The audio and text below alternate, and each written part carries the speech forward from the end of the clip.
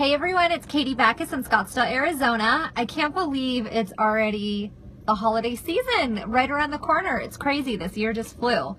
So the question is, is it a good idea to list your home during the holiday season?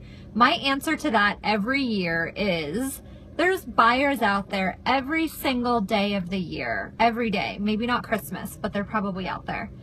Um, so absolutely a lot of sellers pull their homes off the market like mid-November, right before Thanksgiving, because they don't want to hassle it. Um, they might have family coming into town or they don't want to move themselves in the event that the home sells. So they just pull it off the market like mid-November and then they relist in January. I think the perk to keeping your home on the market during the holiday season is that there's lower inventory because a lot of homeowners are pulling their listings. So there's low inventory. There still are buyers out there, I promise. So who knows? I mean, you might find that perfect buyer that's actually willing to pay more because there's lower inventory and less competition on the market.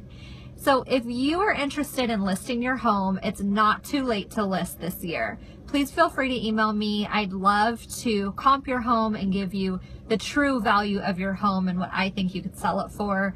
And yeah, I think it's a good idea to keep your home on the market during the holidays. Uh, my email is katie at soldbykatie.com and I hope you have a great day. Bye.